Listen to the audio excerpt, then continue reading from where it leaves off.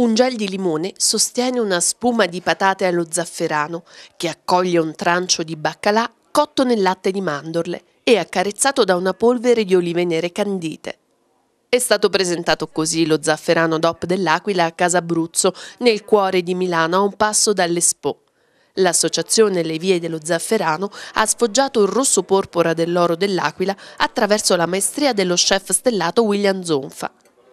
L'ambasciatore dello zafferano dell'Aquila nel mondo ha deliziato così gratuitamente turisti, avventori e milanesi con la magia dell'oro rosso uno dei prodotti forse dopo il Montepulciano d'Abruzzo più conosciuti al mondo. Questa sera eh, preparerò un piatto proprio in onore, in omaggio all'Abruzzo, zafferano al 100% accompagnato con un trancetto di baccalà cotto al latte di mandorla, una spuma di zafferano, delle olive candite e polverizzate e un filo d'olio a crudo. Sicuramente un piatto eh, molto fresco, eh, un piatto tra virgolette povero ma che rappresenta nudo e crudo quello che è il nostro territorio.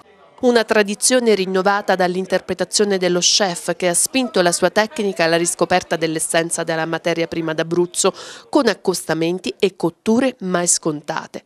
Un altro passo dunque per far conoscere lo zafferano DOP dell'Aquila nella cornice di Casa Abruzzo, tra vini, tartufi e formaggi, con un occhio attento a far crescere nuove generazioni di produttori per non disperdere l'eccellenza del territorio e ravviare l'economia agroculturale.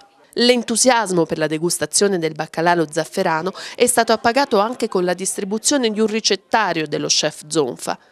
Cinque ricette a base di zafferano raccolte in un prezioso libricino realizzato dall'Associazione Le Vie dello Zafferano per la divulgazione dell'oro rosso d'Abruzzo.